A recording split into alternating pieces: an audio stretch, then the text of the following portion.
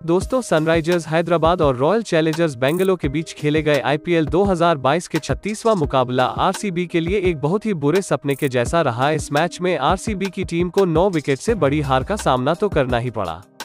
साथ ही साथ में आरसीबी की पूरी टीम इस मैच में सिर्फ़ अड़सठ रन पर ही ऑल आउट हो गई। इसके अलावा आरसीबी के सभी फैंस के लिए और भी कई शॉकिंग मोमेंट सामने आए, जिसमें से एक था विराट कोहली का गोल्डन डक पर आउट होने के बाद जन्नत जुबैर का रिएक्शन जो कि अब सोशल मीडिया पर तेज़ी से वायरल होने लगा है। दोस्तों, आरसीबी के दूसरे ही ओवर में माको यानसन की बॉल पर विराट कोहली स्लिप में शून्य रन पर आउट हो गए और इस दौरान विराट कोहली खुद इतने हैरान थे कि काफ़ी देर तक पिच में खड़े रहे।